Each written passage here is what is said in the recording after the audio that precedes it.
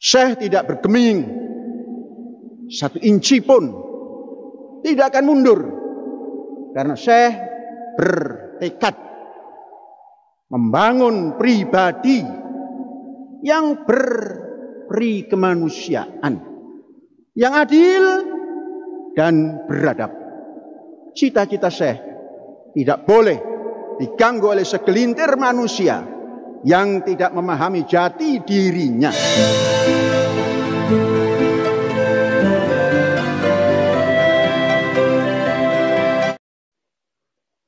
Assalamualaikum warahmatullahi wabarakatuh. Alhamdulillahirabbil alamin. Asyhadu an la ilaha illallah wa asyhadu anna Muhammadan abduhu wa rasuluh wa ba'du. Musini wa iyyakum bitaqwallah faqad faza man ittaqa. Ala ta'atihi la'allana minal muflihin. Saudara-saudara hadirin sedang Jumat dan para santri. Alhamdulillah Hari ini 28 Januari 2022 Artinya bulan pertama tahun ini sudah hampir kita jalani. Di bulan ini ada kejadian yang ingin memaksa Ma'had Az-Zaitun untuk berubah sikap.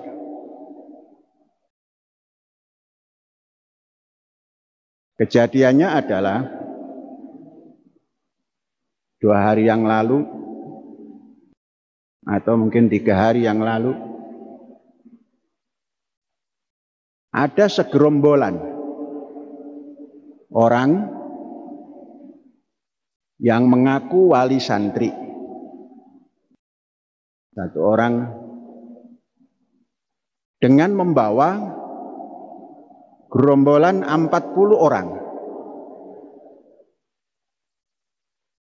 Yang 40 orang ini mengaku sebagai LSM, GRBI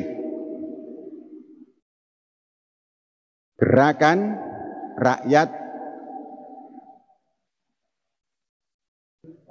GRIB Gerakan Rakyat Indonesia Bersatu.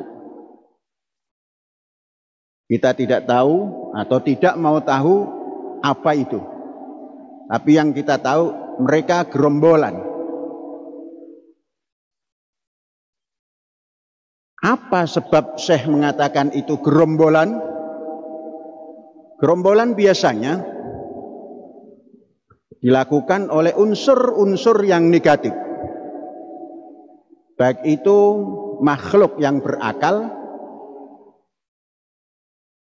maupun makhluk yang tidak berakal. Biasanya ada segerombolan babi yang menyerang kebun untuk mengambil makanan. Itu namanya segerombolan babi.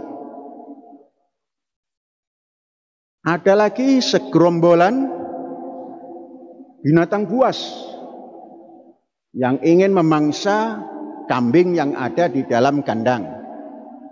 Itu namanya gerombolan. Kalau untuk makhluk yang tidak berakal.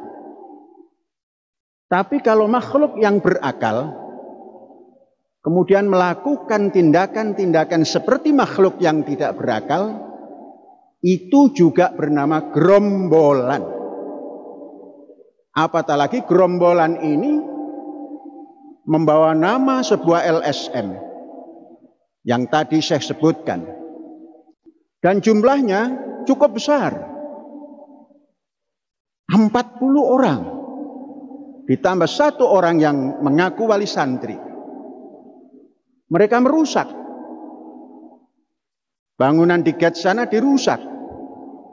Kursi dirusak. Dinding-dinding dirusak.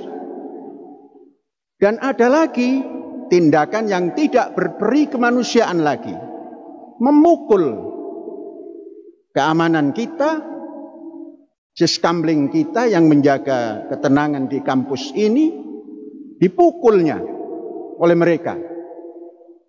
Untungnya keamanan kita Pancasilais, punya kemanusiaan yang adil dan beradab dianggapnya itu adalah sengatan kucing atau cakaran kucing. Kucing memang tidak berakal. Kalau ada orang memukul, akalnya hilang. Setelah ada orang memukul orang, akalnya telah hilang. Saudara-saudara, apa yang dituntutnya? Yang dituntutnya adalah ingin anaknya yang sudah dipulangkan untuk bisa diterima kembali. Anak itu melakukan anarkis di dalam kampus ini. Memukul kawannya yang lemah, yang tidak melawan, sampai mempunyai akibat dan dirawat. Semua tindakannya Diakui karena kita adakan pemanggilan. Di kampus kita ini bukan seperti di tempat lain. Tatkala terjadi apa pun itu kita panggil. Yang menghadapi ada kepala sekolah, ada guru wali, ada kepala daripada ketua mudabir daripada asrama, ada lagi apa nama dewan atau majelis guru ada daripada unsur yayasan semua duduk berdampingan. Dan fulan yang pelajar memukul itu anarkis itu disuruh bercerita. Mengapa terjadi apa yang terjadi? Berceritalah dengan detail mengakui apa kelakuannya dan mengatakan memang bersalah. Kemudian ditanya, kalau sudah melakukan seperti itu, sedangkan kamu kelas 12, apa resikonya? Resikonya adalah dipulangkan. Saudara-saudara, ini semua sudah diiklankan sejak berdirinya kampus Az-Zaitun.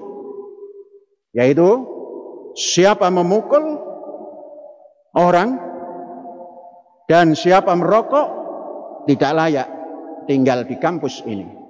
Ini adalah pendirian Az-Zaitun untuk menjaga kader-kader yang sedang menuntut ilmu digembleng di sini dengan kurikulum yang jelas.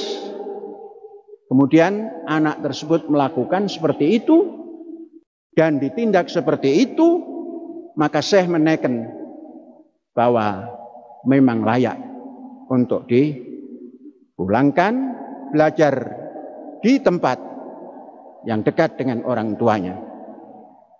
Ternyata orang tuanya berpikir sepihak, menganggap anaknya sangat benar. Memukul itu sangat benar. Memukul sampai anak yang dipukul itu bermasalah sangat benar, tidak salah. Mengatakan macam-macam tapi keputusan yang kita ambil, keputusan yang berdasar kemanusiaan yang adil dan beradab. Melalui proses yang terang benderang. Tidak ada paksaan untuk menerangkan itu. Dan diakuinya ternyata memang seperti itu tanggapan orang tuanya mengatakan anaknya sangat benar dan didolimi oleh Az-Zaitun. Inilah penyebab yang menjadikan semua itu terjadi. Saya sama sekali tidak goyah. Siapa pun bisa berhadapan. siapa pun, anak siapa pun yang melakukan seperti itu tidak boleh diam di kampus Az-Zaitun. Siapa pun. Yang bersangkutan mengaku ini itu silahkan. Syekh tidak bergeming. Satu inci pun tidak akan mundur. Karena Syekh bertekad membangun pribadi yang berperi kemanusiaan, yang adil dan beradab. Cita-cita Syekh tidak boleh diganggu oleh segelintir manusia yang tidak memahami jati dirinya. Hadirin, ini perlu disampaikan pada seluruh wali santri Silakan ambil anak saudara-saudara kalau saudara-saudara tidak menyetujui peraturan yang berjalan di kampus ini. Silakan ambil.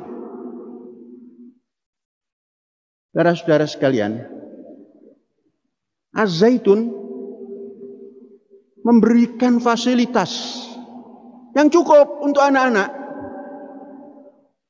Untuk kalian para santri, Apakah wali santri menganggap sudah cukup membayar 3.500 dolar? Saya tidak mengatakan itu kecil, itu besar. Namun bandingkan dengan apa yang diberikan oleh Ma'had Az-Zaitun. Sesungguhnya dana itu kalau dihitung semuanya hanya cukup untuk 12 bulan. Bayangkan. Jangan bicara makan. Jangan bicara asrama. Bicara uang sekolah saja. Bicara gedung saja untuk bersekolah. Itu semua nol. Tidak ada nilainya. Tidak dibebankan. Apalagi kalau kita berhitung makan yang diberikan cukup. Tidak ada santri yang kelaparan di sini. Tidak ada santri yang kurang gizi di sini. Saya memperhatikan sekecil-kecilnya. Karena ini adalah kader yang harus tampil sebagai manusia yang adil dan beradab. Disapot oleh kecukupan pangan. Dan kita tidak berhitung. LKM Az-Zaitun tidak berhitung berapa banyak yang dikorbankan di apa namanya biaya itu tidak berhitung. Untuk mempertahankan pusat pendidikan, pengembangan budaya toleransi dan perdamaian. Siapa pun, siapa pun tidak boleh mengganggu itu. Wali santri pangkat apa pun, jangan pernah mencoba mengganggu itu. Apakah keamanan yang dipukul itu membalas? Tidak. Dianggap itu sengatan daripada laba-laba. Kita hanya melapor kepada polisi. Maka polisi wajib mengusut ini. Lembaga pendidikan dikacau oleh Bromo Corah. Dikacau oleh gerombolan yang mengaku LSM. Memukul, merusak, Mesti, mesti menindak seperti itu. Kalau memang Pancasila ditegakkan, jangan ada bangsa ini yang mengganggu lembaga pendidikan, apalagi pendidikan swasta yang rela membiayai diri. Polisi harus tegas. Kalau polisi tidak menindak, negara ini akan dikuasai oleh gerombolan semacam itu. Di mana Pancasilanya? Di mana kemanusiaan yang adil dan beradabnya? Ini saja pesan pada polisi. Mudah-mudahan didengar.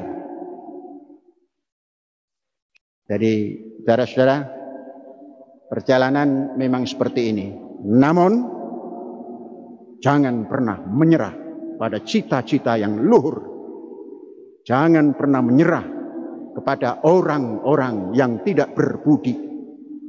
Hadza wallahu yar'ana wa yahfazuna walhamdulillahi rabbil alamin. Merdeka.